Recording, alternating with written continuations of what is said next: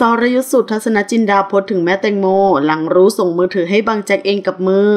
ล่าสุดทางด้านของสรยุทธสุทัศนจินดาได้โพสข้อความ หลังรู้ข่าวแม่แตงโม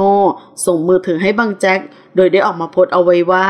แม่แตงโมรับแล้ว เป็นคนส่งมือถือแตงโม ไปให้บางแจ็คที่อเมริกา พร้อมได้ระบุข้อความเอาไว้ว่า ถึงพอคาดได้อยู่แล้ว แต่เมื่อยืนยันว่าใช่ ก็เศร้านะครับ ทนายเดชาแถลงได้คุยกับนางพนิดาเสียรายุทธโยธิน แม่แตงโมรับแล้ว เป็นคนส่งมือถือแตงโมไปให้บางแจ็คที่อเมริกา โดยส่งทางไปรษณีย์แม่แตงโมอ้างว่าส่งมือถือแตงโมให้บางแจ็คเพราะบางแจ็คอ้างว่าจะไปกู้หาหลักฐานว่าแตงโมถูกฆาตกรรม ทนายเดชาไม่ยืนยันว่า มีการจ่ายค่าตอบแทนให้แม่แตงโมหรือไม่